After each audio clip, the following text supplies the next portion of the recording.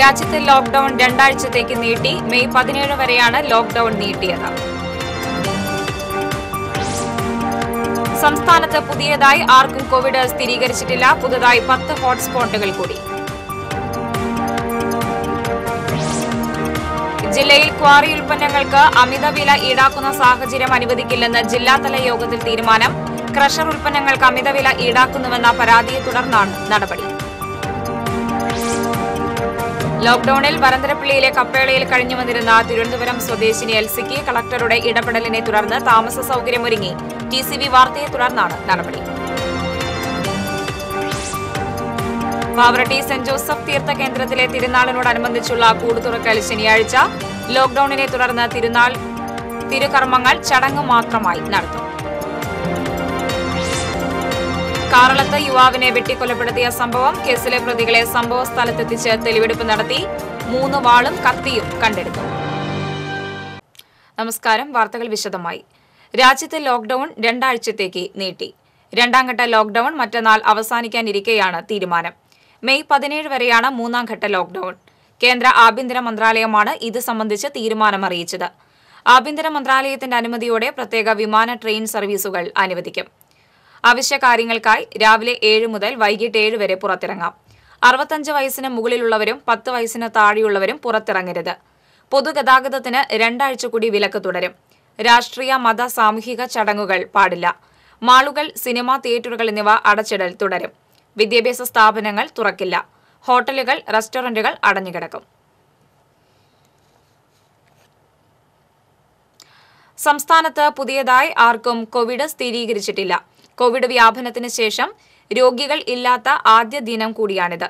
നൂറ്റിരണ്ട് പേരാണ് നിലവിൽ ചികിത്സയിലുള്ളത്. ഇതുവരെ മുന്നൂറ്റി തൊണ്ണൂറ്റിരണ്ട് പേർ രോഗമുക്തി നേടി. സംസ്ഥാനത്തെ വിവിധ ജില്ലകളിലായി ഇരുപത്തൊന്നായിരത്തി നാനൂറ്റി തൊണ്ണൂറ്റിയൊൻപത് പേർ നിരീക്ഷണത്തിലുണ്ട്. ഇവരിൽ ഇരുപത്തൊന്നായിരത്തി അറുപത്തിയേഴ് പേർ വീടുകളിലും നാനൂറ്റി മുപ്പത്തിരണ്ട് പേർ ആശുപത്രികളിലും നിരീക്ഷണത്തിലാണ്. തൃശൂർ വയനാട് എറണാകുളം ആലപ്പുഴ ജില്ലകൾ രോഗമുക്തമാണ്. സംസ്ഥാനത്ത് പുതുതായി പത്ത് ഹോട്ട്സ്പോട്ടുകൾ കൂടി ഉൾപ്പെടുത്തി. കാസർഗോഡ് ജില്ലയിലെ ഉദുമ മലപ്പുറം ജില്ലയിലെ മാറഞ്ചേരി തിരുവനന്തപുരം ജില്ലയിലെ കുളത്തൂർ പാറശാല അതിയന്നൂർ കാരോട് വെള്ളറട അമ്പൂരി ബാലരാമപുരം കുന്നത്തുകാൽ എന്നിവയാണ് പുതിയ ഹോട്ട്സ്പോട്ടുകൾ.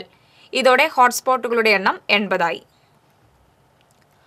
മത്സ്യബന്ധനത്തിന് ഇളവുകൾ നൽകിക്കൊണ്ട് മത്സ്യബന്ധന തുറമുഖ വകുപ്പ് ഉത്തരവ് പുറപ്പെടുവിച്ചു.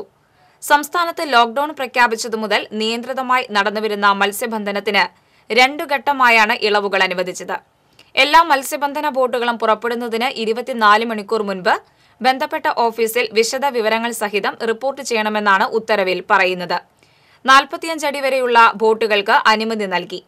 നാൽപ്പത്തഞ്ചടി മുതലുള്ള വള്ളങ്ങൾക്കും യന്ത്രവൽകൃത ബോട്ടുകൾക്കും തിങ്കളാഴ്ച മുതലാണ് അനുമതി.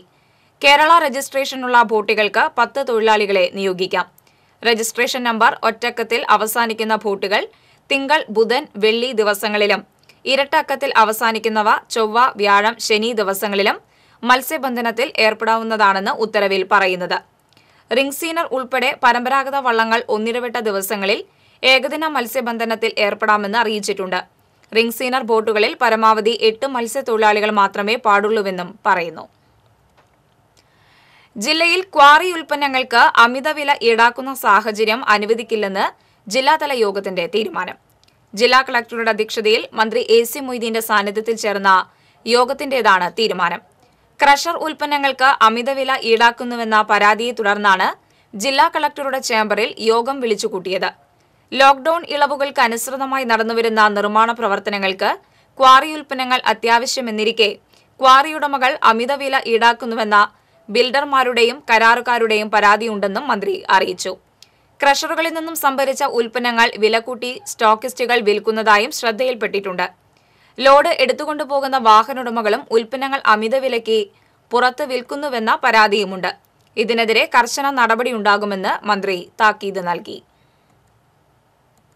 ഇടവേള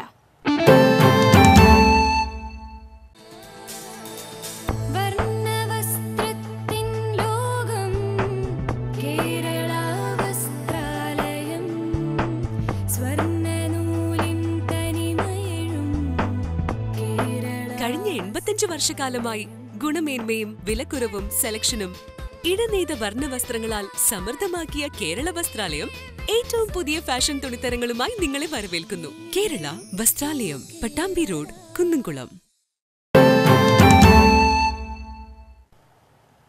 വാർത്തകളിലേക്ക്. കളക്ടർ ഇടപെട്ടു. കപ്പേളയിൽ കഴിഞ്ഞ എൽസിക്ക് തണലൊരുങ്ങി. ടി സി വി വാർത്തയെ തുടർന്നാണ് നടപടി. ലോക്ക്ഡൌണിൽ കുടുങ്ങി വരന്തരപ്പള്ളിയിലെ കപ്പേളയിൽ ഒരു മാസം കഴിഞ്ഞ എഴുപതുകാരിക്ക് തണലൊരുങ്ങി. തിരുവനന്തപുരത്ത് നിന്ന് ബന്ധുവീട്ടിലെത്തിയ തേക്കാനത്ത് എൽസിയാണ് വരന്തരപ്പള്ളി പള്ളിയുടെ കപ്പേളയിൽ കഴിഞ്ഞിരുന്നത്. എൽസിയുടെ ദുരിതം ടി സി വി വാർത്തയിലൂടെ പുറത്തു വന്നതിനെ തുടർന്നാണ് ജില്ലാ ഭരണകൂടത്തിന്റെ ഇടപെടലുണ്ടായത്. വാർത്ത ശ്രദ്ധയിൽപ്പെട്ട സീനിയർ സിറ്റിസൺസ് അംഗങ്ങളായ maintenance tribunal technical അസിസ്റ്റന്റുമാരായ Marshal C Radhakrishnan Bini Sebastian എന്നിവർ പ്രശ്നം ജില്ലാ സാമൂഹ്യനീതി ഓഫീസറുടെ ശ്രദ്ധയിൽപ്പെടുത്തി. തുടർന്ന് ജില്ലാ സാമൂഹ്യനീതി ഓഫീസർ കെ ജി രാഗപ്രിയ വനിതാ ശിശു സംരക്ഷണ ഓഫീസർ കെ കെ ചിത്രലേഖ എന്നിവർ ജില്ലാ കളക്ടറുമായി ചർച്ച നടത്തിയതിന്റെ അടിസ്ഥാനത്തിൽ എൽ സി എ ഇരിഞ്ഞാലക്കുട സഖി വൺ സ്റ്റോപ്പ് സെന്ററിലേക്ക് മാറ്റാൻ തീരുമാനിക്കുകയായിരുന്നു. വരന്തരപ്പള്ളി പഞ്ചായത്ത് അംഗം Ouseph Charadai I C D S സൂപ്പർവൈസർമാർ എന്നിവരുടെ നേതൃത്വത്തിൽ എൽ സി എ സഖി സെന്ററിലേക്ക് മാറ്റി. കോവിഡ് സ്രവ പരിശോധന നടത്തിയ ശേഷം താൽക്കാലികമായി സഖിയിൽ കഴിയാനും തുടർന്ന് ആരോഗ്യ പ്രശ്നങ്ങളില്ലെങ്കിൽ സ്ഥിരമായി മാറ്റിപ്പാർപ്പിക്കാനുമുള്ള സംവിധാനമൊരുക്കാനും ജില്ലാ കളക്ടർ എസ് ഷാനവാസ് നിർദ്ദേശിച്ചിട്ടുണ്ട്. വരന്തരപ്പള്ളി സ്വദേശിയായ എൽ സി വർഷങ്ങളായി തിരുവനന്തപുരത്താണ് കഴിയുന്നത്. ചിമ്മണി ഡാമിൽ സി എൽ ആർ തൊഴിലാളിയായിരുന്ന എൽ സി കരാർ ജോലിക്കായാണ് തിരുവനന്തപുരത്ത് എത്തിയത്. തുടർന്ന് ഹൗസിംഗ് ബോർഡിന്റെ ഫ്ളാറ്റിൽ മാസവാടക നൽകിയാണ് താമസിച്ചിരുന്നത്. എൽ സി വരന്തരപ്പള്ളിയിലെ ബന്ധുവിനെ കാണാനെത്തിയതിനിടെയാണ് ലോക്ക്ഡൗൺ പ്രഖ്യാപിച്ചത്. അതോടെ വരന്തരപ്പള്ളിയിൽ കുടുങ്ങുകയായിരുന്നു. അടഞ്ഞുകിടന്ന കപ്പേളയിൽ കഴിയുമ്പോഴും വരന്തരപ്പള്ളിയിലെ ജനകീയ ഹോട്ടലിൽ പഞ്ചായത്ത് അംഗം ഔസേബ് ചെരടായി ഭക്ഷണം ഏർപ്പാടാക്കിയതിനാൽ ഇതുവരെ പട്ടിണി കിടക്കേണ്ടി വന്നില്ലെന്ന് എൽ സി പറയുന്നു. T C V news Puthukkad. Pavaratty saint Joseph തീർത്ഥകേന്ദ്രത്തിലെ തിരുനാൾ ചടങ്ങ് മാത്രമായി നടത്തും. ശനിയാഴ്ച കൂട് തുറക്കൽ ചടങ്ങ്. കോവിഡിന്റെ പശ്ചാത്തലത്തിൽ തിരുനാൾ ആഘോഷങ്ങൾ ലളിതമായ ചടങ്ങുകളോടെയാണ് നടത്തുക. ഞായറാഴ്ച രാവിലെ തിരുനാൾ ദിവ്യബലിക്ക് കണ്ടശാങ്കടവ് ഫുറോന വികാരി ഫാദർ വിൽസൺ പടിയത്ത് മുഖ്യ കാർമ്മികനാകും. ദേവാലയം അടച്ചിട്ടാണ് തിരുകർമ്മങ്ങൾ നടത്തുക. ദേവാലയ ചരിത്രത്തിൽ ആദ്യമായാണ് ഇത്തരമൊരു സാഹചര്യം. വിശ്വാസികൾക്കായി തിരുക്കർമ്മങ്ങൾ സോഷ്യൽ മീഡിയ വഴിയും പ്രാദേശിക ചാനലുകൾ വഴിയും സംപ്രേക്ഷണം ചെയ്യും. കാറളത്ത് യുവാവിനെ വെട്ടിക്കൊലപ്പെടുത്തിയ കേസിൽ പോലീസ് തെളിവെടുപ്പ് പൂർത്തിയാക്കി. കാറളം മുൻ panchayat president Pullathara Chankarankandath C V വാസുവിന്റെ മകൻ വിഷ്ണു കൊല്ലപ്പെട്ട സംഭവത്തിൽ മുഖ്യപ്രതിയടക്കം ആറുപേരെ കാട്ടൂർ പോലീസ് കഴിഞ്ഞ ദിവസം അറസ്റ്റ് ചെയ്തിരുന്നു. അറസ്റ്റിലായ കാറളം കണ്ണൻ എന്ന് വിളിക്കുന്ന ഉണ്ണിക്കണ്ണനെയാണ് സംഭവസ്ഥലത്തെത്തിച്ച് അന്വേഷണ സംഘം തെളിവെടുപ്പ് നടത്തിയത്. ഉണ്ണിക്കണ്ണന്റെ വീട്ടിൽ നിന്ന് മൂന്ന് വാളും ഒരു കത്തിയും പോലീസ് കണ്ടെടുത്തു.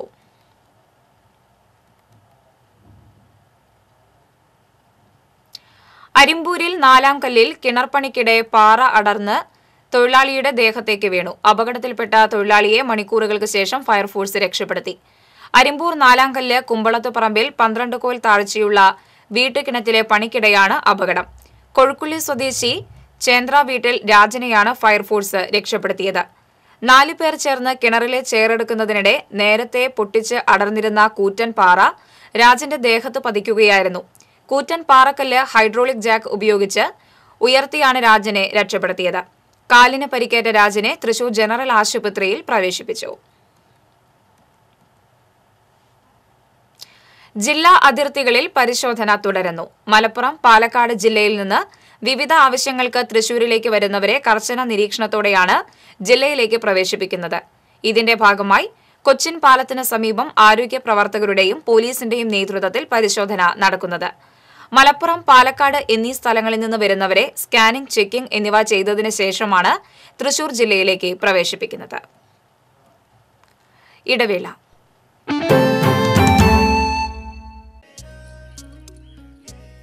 നമ്മുടെ ഫാസ്റ്റ് ലൈഫിന് ആവശ്യം ഫാസ്റ്റ് ഇന്റർനെറ്റ് ആണ്. കേരളത്തിൽ എല്ലായിടത്തും ഏറ്റവും ആദ്യം ജിഗ ഫൈബർ ശൃംഖല എത്തിച്ച Kerala vision. Three G four G പരിമിതികൾ ഒന്നുമില്ലാത്ത high speed fibre to home connections നിങ്ങളിലേക്ക് എത്തിക്കുന്നു. നമ്മുടെ ജീവിതം അതിവേഗതയോടെ അഡ്വാൻസ്ഡ് ആവാൻ ഐ ഒ ടി സർവീസുകൾ നിരവധി I P T V O T T സർവീസുകൾ wifi hotspots combo offers and good plans ഇരുപത്തിയഞ്ച് വർഷത്തെ കേബിൾ ടി വി പാരമ്പര്യം. ഇരുപത്തഞ്ച് ലക്ഷം കസ്റ്റമേഴ്സ് കേരള വിഷൻ. കേരളത്തിന്റെ സ്വന്തം ബ്രോഡ്ബാൻഡ് ഇനി നമ്മുടെ വിരൽത്തുമ്പിൽ.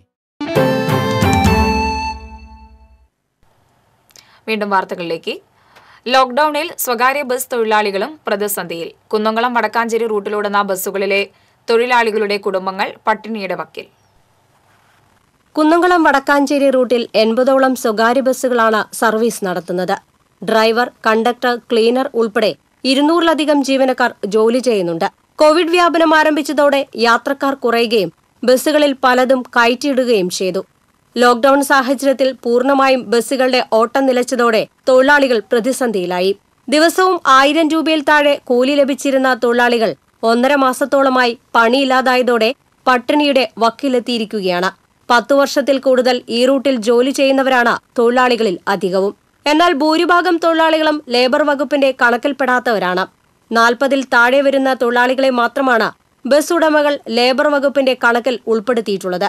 അതിനാൽ തന്നെ കുറച്ചുപേർ മാത്രമാണ് ക്ഷേമനിധി ബോണസ് ഉൾപ്പെടെയുള്ള ആനുകൂല്യങ്ങൾക്ക് അർഹരായിട്ടുള്ളത്. സർക്കാരിന്റെ കണക്കിൽ ഉൾപ്പെടാത്തതിനാൽ ഇടക്കാല ആശ്വാസമായി പ്രഖ്യാപിച്ച അയ്യായിരം രൂപയും ഭൂരിഭാഗം തൊഴിലാളികൾക്കും ലഭിക്കാത്ത അവസ്ഥയാണ്. വിവിധ യൂണിയനുകൾ ഉണ്ടെങ്കിലും കാര്യക്ഷമമായി ഇടപെടുന്നില്ലെന്നും തൊഴിലാളികൾക്ക് ആക്ഷേപമുണ്ട്. തുച്ഛമായ വേതനത്തിൽ ജനങ്ങൾക്ക് സേവനം ചെയ്തിരുന്ന തങ്ങളുടെ കുടുംബങ്ങളെ പട്ടിണിയിൽ നിന്ന് രക്ഷപ്പെടുത്താൻ സർക്കാർ കരുണ കാണിക്കണമെന്ന് തൊഴിലാളികൾ അഭ്യർത്ഥിച്ചു. T C V news Erumapetty. Guruvayur ക്ഷേത്ര പുനർനിർമ്മാണത്തിന് ശിലാവിന്യാസം നടന്നിട്ട് അരനൂറ്റാണ്ട് തികഞ്ഞു. ഭക്തജനങ്ങളെ ആഹ്ലാദഭരിതമാക്കിയ ആ ചടങ്ങ് ആയിരത്തി തൊള്ളായിരത്തി എഴുപത്തിയൊന്ന് മെയ് ഒന്നിനായിരുന്നു നടന്നത്. ഗുരുവായൂരപ്പന്റെ നിർമാല്യ ദർശനവും ഉഷനിവേദ്യവും കഴിഞ്ഞ ശേഷം നാലര മണിക്കുള്ള ശുഭമുഹൂർത്തത്തിലാണ് കാഞ്ചി കാമകോടി പീഠാധിപതി ജയേന്ദ്ര സരസ്വതി സ്വാമികൾ ചടങ്ങ് നിർവഹിച്ചത്. ദൂരദിക്കുകളിൽ നിന്നും ഉൾപ്പെടെ ഭക്തജനങ്ങൾ നാമസങ്കീർത്തനങ്ങളോടെ ആത്മസമർപ്പണമായി ദ്രവ്യങ്ങൾ സമർപ്പിച്ച് പുഷ്പവൃഷ്ടി അർപ്പിച്ചിരുന്നു. ക്ഷേത്രം തന്ത്രി ചേന്നാസ പരമേശ്വരൻ പാട തിരുനാമാചാര്യൻ ആഞ്ഞം മാധവൻ നമ്പൂതിരി ക്ഷേത്രം പുനർനിർമ്മാണ committee chairman K K Elappan special officer K K Menon ആദ്യത്തെ administrator C H Damodaran Nambiar തുടങ്ങിയവരുടെ മേൽനോട്ടത്തിലായിരുന്നു ചടങ്ങുകൾ നടന്നത്. ദേവസ്വത്തിന്റെ ക്ഷണം സ്വീകരിച്ച് ശിലാസ്ഥാപനം നിർവഹിക്കാൻ തലേന്ന് തന്നെ ഗുരുവായൂരിൽ എത്തിച്ചേർന്ന സ്വാമികളെ മഞ്ജുളാൽ പരിസരത്ത് നിന്ന് അന്നത്തെ ടൗൺഷിപ്പ് അധികൃതരും ദേവസ്വം മന്ത്രി എൻ കെ ബാലകൃഷ്ണൻ മന്ത്രി എൻ കെ ശേഷൻ എന്നിവരുടെ നേതൃത്വത്തിൽ ക്ഷേത്രം ഗോപുര കവാടത്തിൽ ഊരാളൻ മല്ലിശ്ശേരി കൃഷ്ണൻ നമ്പൂതിരിയും തന്ത്രി ചേന്നാസ പരമേശ്വരൻ നമ്പൂതിരിപ്പാടും ഹാരവും പൂർണകുംഭവും നൽകി സ്വീകരിച്ചു. ആനയും അമ്പാരിയും കുതിരയും കൊമ്പുവാദനവുമായി ഗുരുവായൂർ സന്നിധിയിലെത്തിയ സ്വാമികൾക്ക് ഗുരുവായൂർ പൗരാവലി സി ജി നായരുടെ നേതൃത്വത്തിൽ ഗംഭീര സ്വീകരണമാണ് നൽകിയത്. ക്ഷേത്ര നിർമ്മാണത്തിനുള്ള ശിലാപൂജയ്ക്ക് നേതൃത്വം നൽകാൻ ആന്ധ്രയിൽ നിന്നും എത്തിയ തിരുവാരൂർ സ്വദേശി മുത്തുസ്വാമി ഉപാധ്യായയെ ശ്രീലകത്ത് നിന്ന് പൂജ കഴിഞ്ഞ് പുറത്തുവന്ന തന്ത്രി പരമേശ്വര നമ്പൂതിരിപ്പാട് ദക്ഷിണ നൽകിയാണ് ആദരിച്ചത്. ആയിരത്തി തൊള്ളായിരത്തി എഴുപത് നവംബർ ഇരുപത്തിയൊൻപതിന് ക്ഷേത്രം അഗ്നിബാധയെ തുടർന്ന് ഭക്തജന മനസ്സിലുണ്ടായ ആ വലിയ ആഘാതം ഉത്സവഛായ പകർന്ന ഈ ശിലാന്യാസ ചടങ്ങിൽ പങ്കെടുത്തതോടെ മാറി. ആയിരത്തി തൊള്ളായിരത്തി എഴുപത്തിനാല് ഡിസംബർ മാസത്തോടെ ക്ഷേത്ര പുനർനിർമ്മാണം പൂർത്തിയാക്കുകയും ചെയ്തു. T C V news Guruvayur. പതിനഞ്ചുകാരനെ പ്രകൃതി വിരുദ്ധ പീഡനത്തിനിരയാക്കിയ കേസിൽ ഒളിവിലായിരുന്ന മുസ്ലിം ലീഗ് നേതാവും മുൻ പഞ്ചായത്ത് അംഗവുമായ പി എം റഫീഖിനെ ചേലക്കര പോലീസ് അറസ്റ്റ് ചെയ്തു. ചൈൽഡ് ലൈൻ പ്രവർത്തകരുടെ നിർദ്ദേശത്തെ തുടർന്നാണ് ഇയാൾക്കെതിരെ ചേലക്കര പോലീസ് കേസെടുത്തിരുന്നത്. തുടർന്ന് ഒളിവിൽ പോയ ഇയാളെ സൈബർ സെല്ലിന്റെ സഹായത്തോടുകൂടി തിരുവില്ലാമല മലേശമംഗലത്തുണ്ടെന്ന വിവരത്തിന്റെ അടിസ്ഥാനത്തിൽ ചേലക്കര സിഐ ഇ ബാലകൃഷ്ണന്റെ നേതൃത്വത്തിലുള്ള സംഘം പിടികൂടുകയായിരുന്നു. പോലീസ് ഉദ്യോഗസ്ഥരായ റഷീദ മധുസൂദനൻ നിഷാദ് സഗുൻ എന്നിവർ അന്വേഷണ സംഘത്തിലുണ്ടായിരുന്നു. ഇയാൾക്കെതിരെ സമാനമായ കേസുകളുണ്ടെന്ന് പോലീസ് പറയുന്നു. കൊടുങ്ങല്ലൂരിൽ ഓട്ടോ ടാക്സി സ്കൂട്ടറിലിടിച്ച് പരിക്കേറ്റ യുവതി മരിച്ചു. മേത്തല കോന്നംപറമ്പിൽ സതീശന്റെ മകൾ പത്തൊൻപത് വയസ്സുള്ള സഹിഷ്ണയാണ് മരിച്ചത്. വ്യാഴാഴ്ച വൈകിട്ടുണ്ടായ അപകടത്തിൽ ഗുരുതരമായി പരിക്കേറ്റ സഹിഷ്ണ എറണാകുളത്തെ സ്വകാര്യ ആശുപത്രിയിൽ ചികിത്സയിലായിരുന്നു. അപകടത്തിൽ പരിക്കേറ്റ കോന്നംപറമ്പിൽ രാകേഷിന്റെ മകൾ ദേവിക തൃശൂർ ജൂബിലി മിഷൻ ആശുപത്രിയിൽ ചികിത്സയിലാണ്. നഗരസഭാ കൌൺസിലർ രതീഷ് ഓടിച്ച ഓട്ടോ ടാക്സിയാണ് സ്കൂട്ടറുമായി കൂട്ടിയിടിച്ചത്. എ ഐ ടി യു സിയുടെ നേതൃത്വത്തിൽ മെയ് ദിനാചരണം നടത്തി. ഓട്ടുപാറയിൽ നടന്ന ചടങ്ങിൽ സി ജില്ലാ എക്സിക്യൂട്ടീവ് അംഗം എം ആർ സോമനാരായണൻ പതാക ഉയർത്തി. ചുമട്ട് തൊഴിലാളി യൂണിയൻ മണ്ഡലം secretary M S Abdul Razak അധ്യക്ഷനായി. യുവകലാ സാഹിതി സംസ്ഥാന general secretary E M Satheesan A I T U C നിയോജക മണ്ഡലം പ്രസിഡന്റ് വി ജെ ബെന്നി തുടങ്ങിയവർ സംസാരിച്ചു. വെങ്കിടങ്ങ് പൊണ്ണമുത കോൾപ്പടവിൽ ഗെയിലിന്റെ പൈപ്പിടാനായി എടുത്ത കുഴി മൂടാതെ കർഷകർ ദുരിതത്തിൽ. ഒരേക്കർ സ്ഥലമാണ് കുഴിയായി കിടക്കുന്നത്. അഞ്ചു വർഷമായി കൃഷിയിറക്കാൻ കഴിയുന്നില്ലെന്നും ഇതുമൂലം കർഷകർക്ക് വലിയ നഷ്ടമാണ് സംഭവിക്കുന്നതെന്നും പടവ കമ്മിറ്റി പ്രസിഡന്റ് പി പരമേശ്വരൻ പറഞ്ഞു. ഗെയിൽ പൈപ്പ് ലൈൻ ജോയിന്റും ജംഗ്ഷനും വരുന്ന സ്ഥലമായതിനാലാണ് ഇത്രയും സ്ഥലം കൃഷിയോഗ്യമല്ലാതായത്. കുഴി മൂടാൻ ഐ എൽ എഫ് എസ് എന്ന കമ്പനിയെ ഏർപ്പാടാക്കിയെന്ന് ഗെയിൽ അധികൃതരുടെ വാദം. മഴക്കാലത്തിന് മുൻപ് കുഴി മൂടിയില്ലെങ്കിൽ അടുത്ത സീസണിലും കൃഷി നടത്താനാകാത്ത സ്ഥിതിയാണ്. പ്രശ്നത്തിൽ ജില്ലാ കളക്ടർ ഇടപെടണമെന്ന് കർഷകർ ആവശ്യപ്പെട്ടു. കാലങ്ങളായി ശോചനീയാവസ്ഥയിലായിരുന്ന ചാവക്കാട് നഗരസഭയിലെ പൂക്കുളത്തിന് പുനർജന്മം. നഗരസഭയുടെ നേതൃത്വത്തിൽ നാൽപ്പത്തിനാല് ലക്ഷം രൂപ ചെലവഴിച്ച് സംരക്ഷണ ഭിത്തി കെട്ടിയാണ് പൂക്കുളം നവീകരിക്കുന്നത്. കാലങ്ങളായുള്ള നഗരസഭയുടെ സ്വപ്ന പദ്ധതിയാണ് ഇതോടെ പൂവണിയുന്നത്. മാലിന്യം മൂലവും കയ്യേറ്റങ്ങൾ മൂലവും കുളം വളരെ ശോചനീയാവസ്ഥയിലായിരുന്നു. കയ്യേറ്റം മൂലം വിസ്തൃതി വലിയ തോതിൽ കുറയുകയും ചെയ്തിരുന്നു. തുടർന്ന് നഗരസഭ സർവേ നടത്തി കയ്യേറ്റങ്ങൾ ഒഴിവാക്കി കുളത്തിന്റെ വിസ്തൃതി പൂർവസ്ഥിതിയിലാക്കുകയും സംരക്ഷണ ഭിത്തി കിട്ടി കുളം സംരക്ഷിക്കുന്നതിനുള്ള പദ്ധതി നടപ്പിലാക്കുന്നതിന് തീരുമാനിച്ചത് നഗരസഭ ജനകീയാസൂത്രണ പദ്ധതി പ്രകാരം നാൽപ്പത്തിനാല് ലക്ഷം രൂപ വകയിരുത്തിയാണ് സംരക്ഷണ ഭിത്തി കെട്ടി കുളം സംരക്ഷിക്കുന്നതിനുള്ള പ്രവർത്തനങ്ങൾ നടപ്പിലാക്കുന്നത്. രണ്ടാം ഘട്ടമായി ശുദ്ധജല സ്രോതസ്സും കുട്ടികൾക്ക് നീന്തൽ പരിശീലനത്തിനുള്ള വേദിയാക്കുന്നതിന് വേണ്ടിയാണ് നഗരസഭ പൂക്കളം നവീകരണ പ്രവർത്തനങ്ങൾ നടപ്പിലാക്കുന്നതിലൂടെ ലക്ഷ്യമിടുന്നത് എന്ന് നഗരസഭാ ചെയർമാൻ എൻ കെ അക്ബർ പറഞ്ഞു. പദ്ധതിയുടെ ആദ്യഘട്ട ഉദ്ഘാടനം നഗരസഭാ ചെയർമാൻ എൻ കെ അക്ബർ നിർവഹിച്ചു. വൈസ് ചെയർപേഴ്സൺ മഞ്ജുഷ സുരേഷ് നഗരസഭാ സെക്രട്ടറി കെ ബി വിശ്വനാഥൻ എന്നിവർ സന്നിഹിതരായി.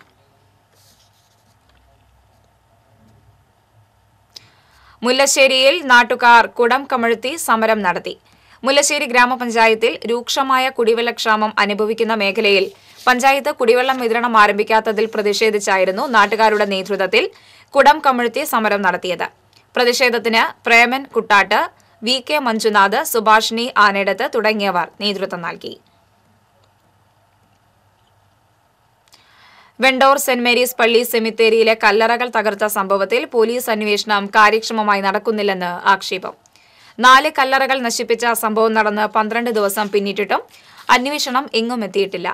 ഇതിനെതിരെ ഇടവകാംഗങ്ങൾ ഞായറാഴ്ച പ്രാർത്ഥനാ ദിനമായി ആചരിക്കുമെന്ന് വികാരി ഫാദർ ജോസ് തെക്കേക്കര സഹവികാരി ഫാദർ പ്രകാശ് പുത്തൂർ ട്രസ്റ്റി നെപ്പോ ചിറമൽ തുടങ്ങിയവർ അറിയിച്ചു. സംഭവത്തിൽ ജില്ലാ കളക്ടർക്കും റൂറൽ എസ് പിക്കും പരാതി നൽകിയിട്ടുണ്ടെന്നും ഇവർ പറഞ്ഞു. കനത്ത കാറ്റിൽ മേലൂർ പഞ്ചായത്തിൽ കൃഷിനാശം. പിണ്ടാണിയിലെ ഏക്കർ കണക്കിന് കപ്പ കൃഷിയും വാഴകളുമാണ് ഒടിഞ്ഞു വീണത്. പൂലാനിയിലെ പെരിങ്ങാത്ര മോഹനന്റെ അയ്യായിരത്തോളം കപ്പകൾ കാറ്റിൽ കൂപ്പുകുത്തി. ഇരുപതോളം വാഴകൾ കടപുഴകി. കവുങ്ങ് ഒടിഞ്ഞു വീണ് സമീപത്തുണ്ടായിരുന്ന ഒരു ട്രില്ലറും നശിച്ചു. രണ്ടാഴ്ച മുമ്പുണ്ടായ ചുഴലിക്കാറ്റിലും മോഹനന്റെ രണ്ടായിരം കപ്പയും നിരവധി വാഴകളും ഒടിഞ്ഞു വീണിരുന്നു. വ്യാഴാഴ്ചയിലെ കാറ്റിൽ കിഴക്കേനടുത്ത് ജോസഫിന്റെ കൊള്ളിത്തോട്ടവും നശിച്ചു.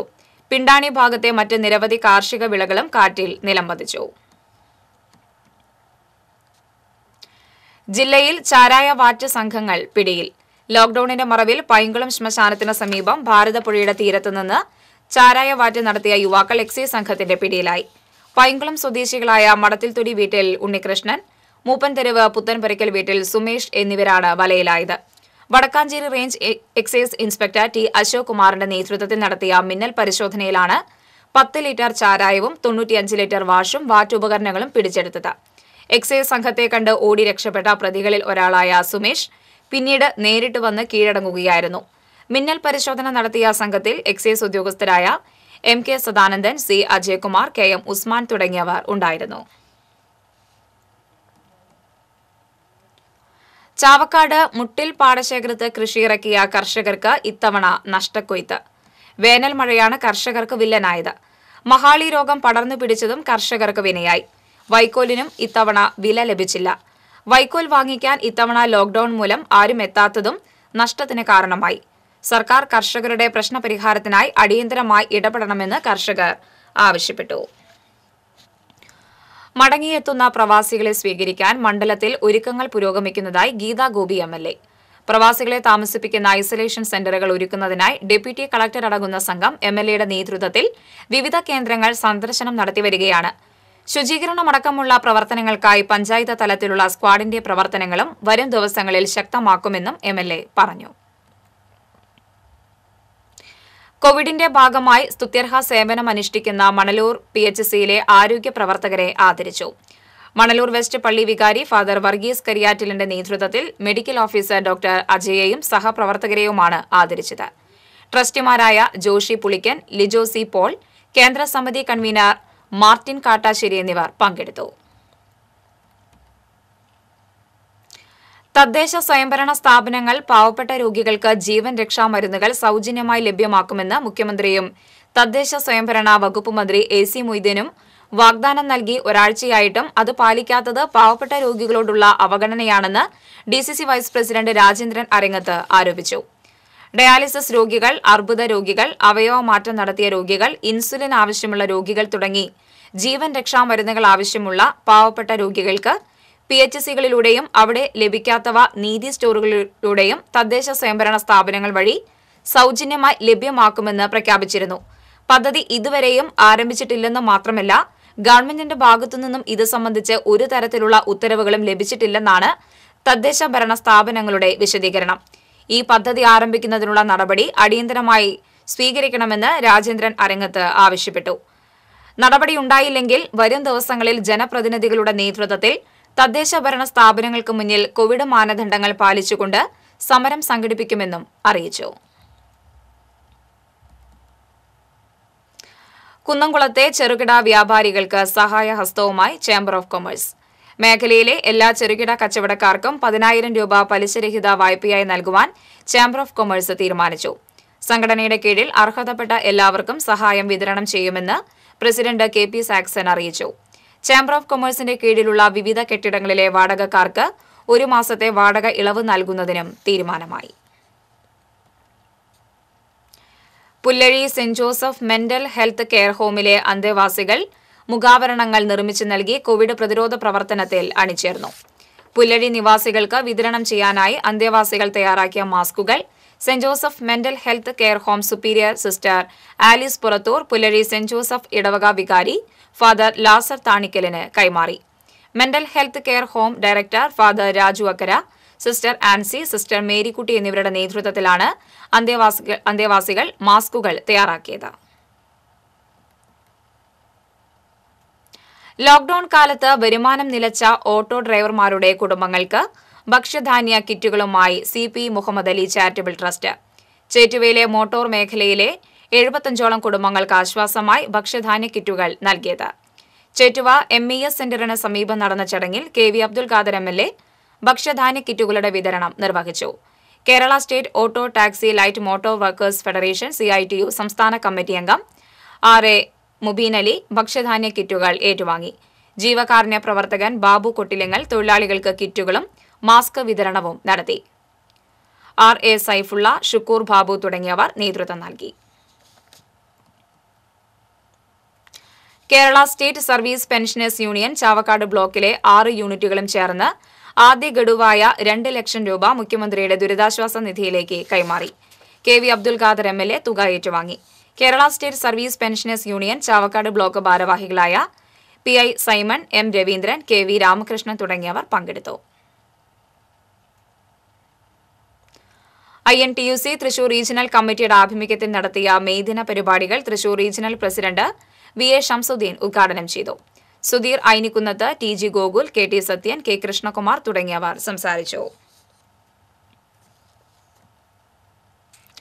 കോവിഡ് പ്രതിരോധ നടപടിയുടെ ഭാഗമായ ലോക്ഡൌൺ കാലത്തെ സാമൂഹ്യ പ്രവർത്തനങ്ങളുടെ ഭാഗമായി I M A Triprayar branch ഭക്ഷ്യധാന്യ കിറ്റുകൾ വിതരണം ചെയ്തു. ഏങ്ങണ്ടിയൂർ ഏത്തായി നായാടി കോളനിയിൽ നടന്ന ഭക്ഷ്യധാന്യ കിറ്റുകളുടെ വിതരണം T N Prathapan M P നിർവഹിച്ചു. I M A Triprayar president doctor V K Sathidevi secretary doctor Molly Baby doctor Baby Francis തുടങ്ങിയവർ പങ്കെടുത്തു.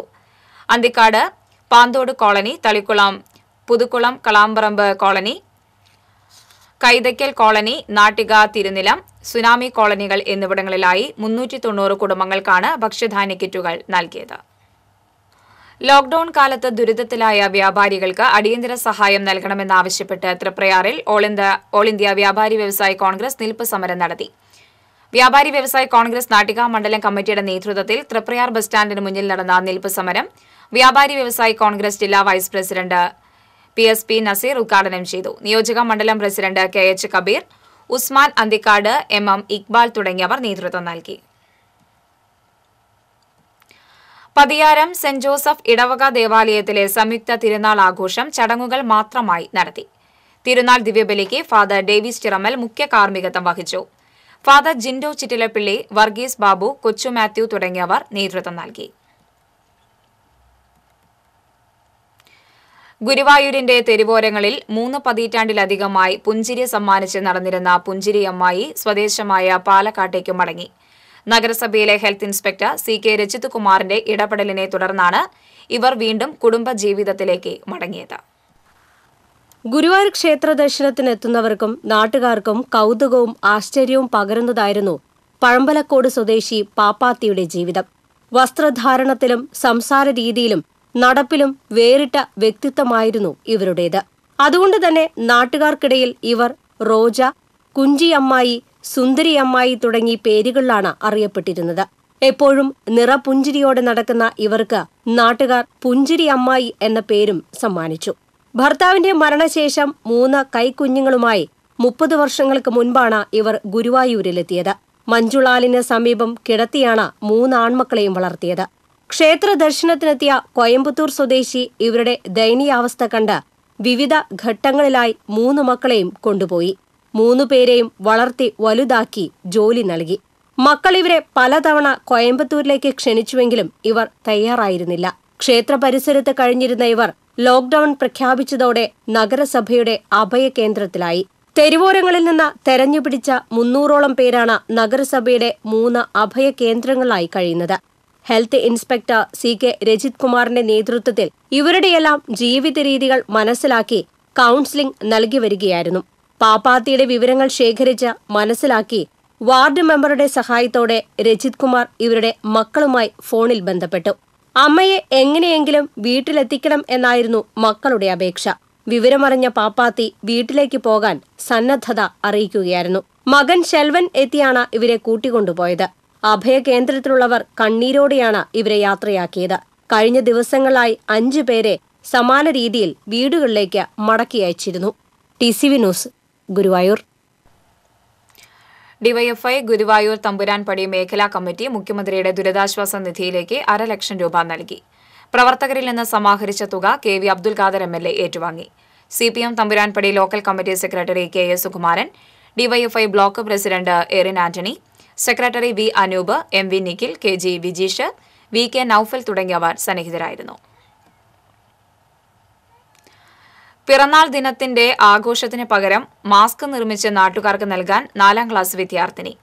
കണ്ടശാങ്കടവ് പ്രൊഫസർ ജോസഫ് മുണ്ടശ്ശേരി സ്മാരക എൽ പി സ്കൂളിലെ വിദ്യാർത്ഥിനി അദ്വിക രാജാണ് പിറന്നാൾ ദിനത്തിൽ മാസ്കുകൾ നിർമ്മിച്ച് നൽകുവാൻ തീരുമാനിച്ചത്.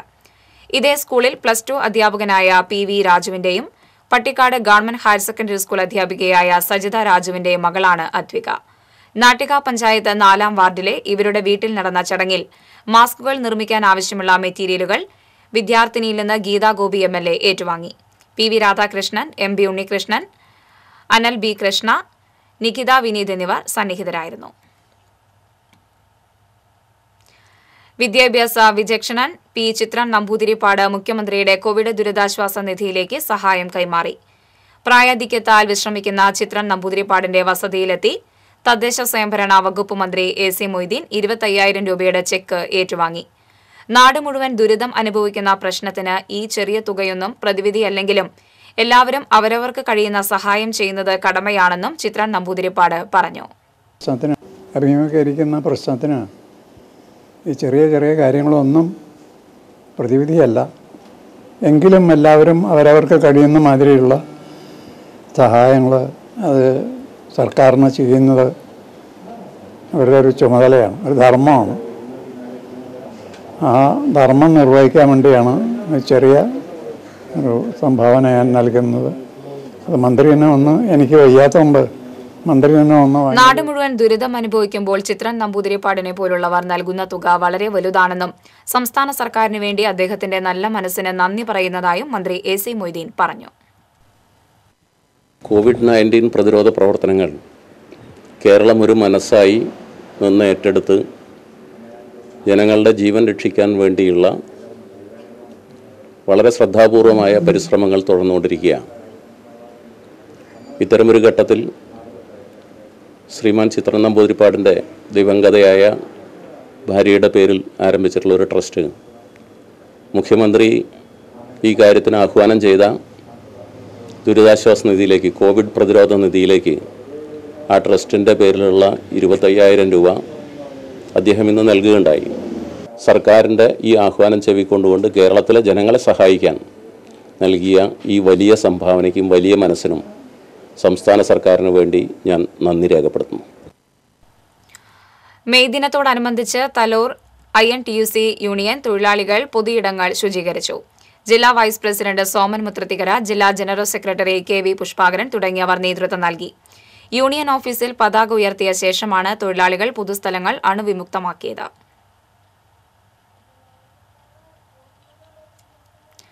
B J P Paralam panchayat കമ്മിറ്റിയും സേവാഭാരതി പ്രവർത്തകരും ചേർന്ന് പാറളം ഗവൺമെന്റ് ആശുപത്രിയും പരിസരവും ശുചീകരിച്ചു.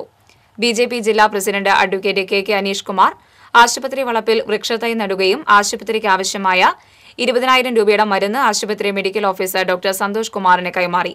B J P panchayat president Subeesh Konnakkal Pradeep Panapparambil Lijeev Payyappadan Sunil G Makkan Sreekanth Kalarikkal Bibin Paravath Murali master Ajayan Kattippura എന്നിവർ നേതൃത്വം നൽകി. വലപ്പാട് പോലീസ് സ്റ്റേഷനിലെ പോലീസ് ഉദ്യോഗസ്ഥർക്കും കുടുംബാംഗങ്ങൾക്കുമായി മെഡിക്കൽ ക്യാമ്പ് സംഘടിപ്പിച്ചു. കോവിഡ് നയന്റീൻ പ്രതിരോധ നടപടികൾക്ക് മുൻനിരയിൽ പ്രവർത്തിക്കുന്ന ഉദ്യോഗസ്ഥർക്കൊപ്പം അവരുടെ കുടുംബത്തിനും സുരക്ഷിതത്വം ഒരുക്കുകയാണ് ക്യാമ്പിന്റെ ലക്ഷ്യം. സംസ്ഥാന പോലീസ് മേധാവിയുടെ ഉത്തരവ് പ്രകാരം police academy training A D G P D I G എന്നിവരാണ് ക്യാമ്പിന് നിർദ്ദേശം നൽകിയത്. വലപ്പാട് സ്റ്റേഷനിൽ നടന്ന ക്യാമ്പിന് പോലീസ് അക്കാദമി യൂണിറ്റ് ആശുപത്രിയിലെ medical officer doctor Ayyappan nurse Viji pharmacist Shanavas എന്നിവർ നേതൃത്വം നൽകി. Armed police assistant commandant Benny Joseph reserve police inspector Ajayan S I Murali എന്നിവർ ക്യാമ്പിന് ആവശ്യമായ നിർദ്ദേശങ്ങൾ നൽകി. Valappad SHO K Sumesh S I V P Aristotle A S I Noordeen P R O M K Azeez എന്നിവർ ഉൾപ്പെടെ മുഴുവൻ ഉദ്യോഗസ്ഥരും ക്യാമ്പിൽ പങ്കെടുത്തു. മുപ്ലിയം വട്ടപ്പാടത്ത് ഉപ്പുഴി ഇഞ്ചക്കുണ്ട് റോഡിനോട് ചേർന്നുള്ള പുറംപോക്ക് ഭൂമിയിൽ നിന്നും ഇരുന്നൂറ് ലിറ്റർ വാഷ് ഇരിങ്ങാലക്കുട എക്സൈസ് സംഘം പിടികൂടി. സംഭവത്തിൽ ആരെയും പിടികൂടാനായിട്ടില്ല. പ്രതിയെക്കുറിച്ച് അന്വേഷിച്ചു വരികയാണെന്ന് അന്വേഷണ സംഘം അറിയിച്ചു. എക്സൈസ് ഓഫീസർ എം ആർ മനോജിന്റെ നേതൃത്വത്തിലുള്ള സംഘമാണ് വാഷ് പിടികൂടിയത്. പ്രിവന്റീവ് ഓഫീസർമാരായ Winnie Bose Suresh grade preventive officer Manoj സിഇഒമാരായ Valsan Binduraj Fabin വനിതാ സിവിൽ എക്സൈസ് ഓഫീസർ ശാലിനി എന്നിവർ അന്വേഷണ സംഘത്തിലുണ്ടായിരുന്നു. രണ്ടാഴ്ചയ്ക്കിടെ മേഖലയിൽ നിന്ന് അഞ്ച് വാറ്റ് കേന്ദ്രങ്ങളാണ് അധികൃതർ കണ്ടെത്തിയത്.